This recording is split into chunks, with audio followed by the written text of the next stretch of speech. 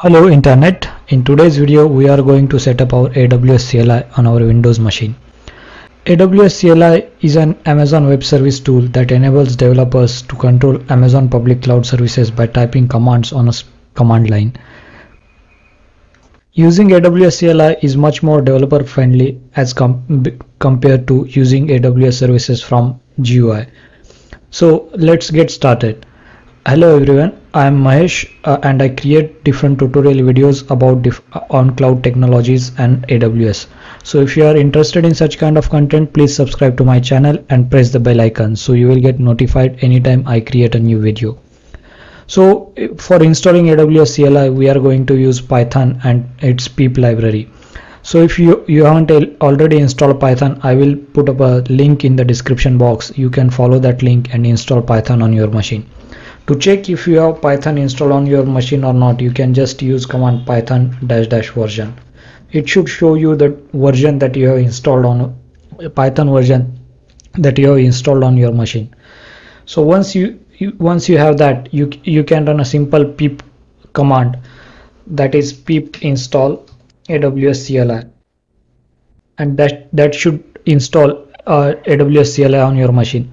Now it is already installed and uh, installed on my machine. That is why it didn't do anything new. But on your machine you should see uh, some files getting downloaded and downloaded and configured. Once you have installed aws cli next step is we need to create a user which we will use with aws cli for creating user we can get, go to aws iam and I also have tutorial about AWS IAM so you might be uh, if you are not familiar with that you might want to check that out. So let's go to AWS IAM here we will create a new user. And let's just say it is a test user for our uh, for for this purpose. And we need to grant it a programmatic access. Then we will add permissions to him and I am adding a, a administrative access for this user. We can also add a our tags. Tags are useful in aws which can be used to filter out different resources. And then we will just review these permissions and we will hit create. Now this has given us a access key id and secret access key for our user so remember to download it and because once uh, after this screen you won't be able to see the secret access key for that user. And don't worry I am not uh, blurring this uh, right now because I will be deleting this user as soon as I finish up this finish up with this video. So let me just get get these details from here. For configuring user we need to run following command that is aws configure. Once we hit that we need to insert these details for this user. So first thing we need to grab is its access key id then then hit enter and then we need to insert its secret access key. Uh, then we need to enter a default region. You can keep it a blank but uh, uh, I will enter. It's not a mandatory field so it can be blank but I will enter US East 1 and then again a format. Uh, it can be either JSON or a text. So again this field is also, also optional. Once you uh, enter these details your uh, profile is user is configured with aws cli so now you can hit uh, run commands like aws s3ls which should list down all the buckets in your account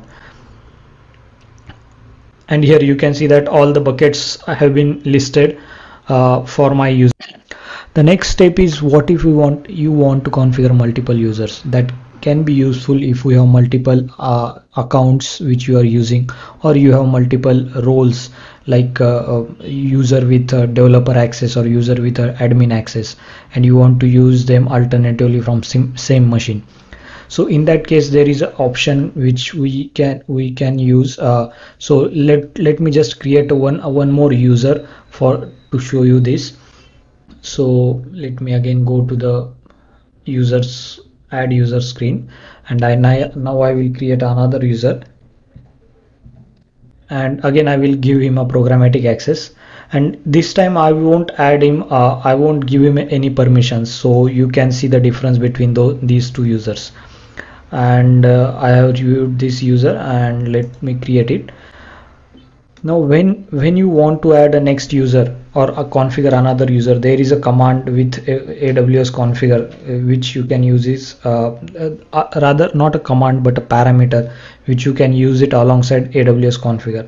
So if you specify aws configure dash dash profile and then the profile name that you want to use so we are using test user 2 for this purpose. And now we can configure uh, say we can repeat the same process again. So we need to give x we need to copy access key. Then the secret secret access key. Then again we need to specify region which is optional. And then we need to give um, give uh, output format. This is also an optional parameter. So now uh, next thing you would want to know is how you can use different profiles. The first profile that we have configured goes goes into the default. If you didn't specify any profile parameter that becomes a default default profile. And when you want to use default profile you don't have to specify anything. That's why when you specify aws s3ls it picked up a default credentials for your account. But if you want to use a different profile other than default then you need to profile uh, provide that in command. And you can use minus minus profile parameter in each command in each aws cli command to specify particular profile that you want to use. So here you can run aws s3ls profile. Now we have given a profile name as oh there is a typo in my profile name. But anyways that that won't matter here. Let me just copy that and paste here and now if we run so this command shouldn't run because we haven't given any access to this user. So if I run it it it will say uh, uh, it doesn't have any permissions to access list bucket.